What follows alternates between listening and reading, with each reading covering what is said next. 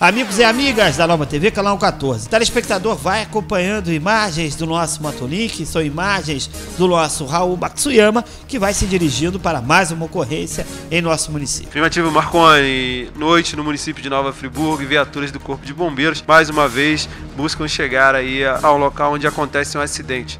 A situação envolve o distrito de Conselheiro e envolve também a Avenida Governador Roberto Silveira, importante avenida aqui do município de Nova Friburgo, na região serrana.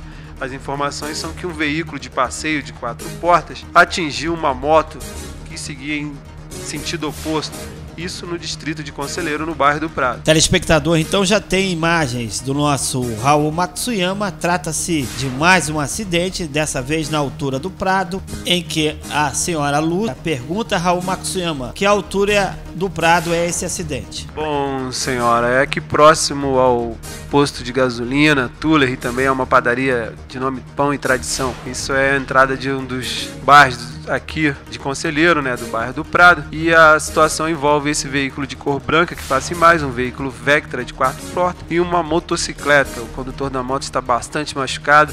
No momento da colisão ele estava sozinho em sua moto, sentia seguia sentido centro do distrito de Conselheiro e nesse ponto o veículo Vectra fez uma conversão trocando de pista, né?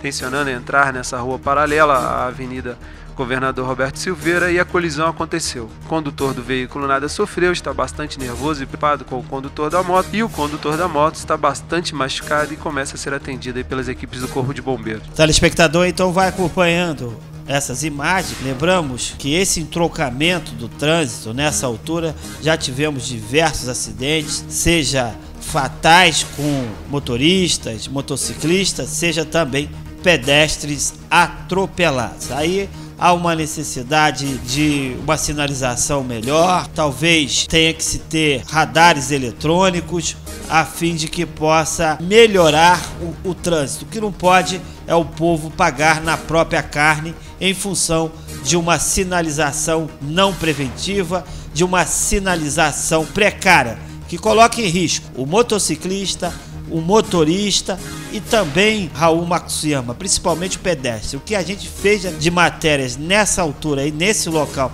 em que pedestres são atropelados, o índice é alarmante. É, realmente, Marconi, existe aí né, uma série de pedidos feitos aí por pessoas não só de conselheiro, mas de todo o município. As instituições, né, a Rota 116, existem problemas que precisam ser sanados pela Rota 116 em toda a extensão desta importante via, né? Existe também a situação da Secretaria de Mobilidade Urbana, já foram feitos aí pedidos sobre instalarem radares e também melhorar os sinais. Existem muitas lâmpadas queimadas desses sinais algumas da parte de baixo estão queimadas, outras funcionam, algumas da, da parte de cima dos sinais estão queimadas, outras funcionam, enfim, problemas sérios que envolvem o, o, dia a dia de pessoas produtivas em nosso município e também de turistas, né? Então é necessário que algo seja feito e rápido, né?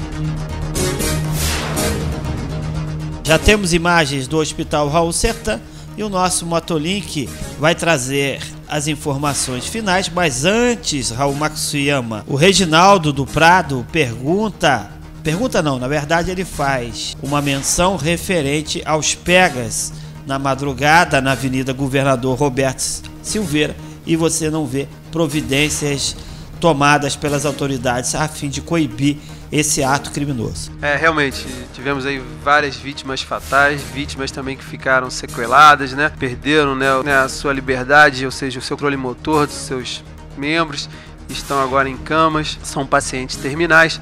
E cabe sim a todos nós cobrar aí das autoridades, né, que façam alguma coisa. Nosso telefone 2522 9058, nosso WhatsApp é o 999090701, nosso portal Nova TV é o www.novatvfriburgo.com.br e a gente torce que o motociclista possa se recuperar o mais breve possível.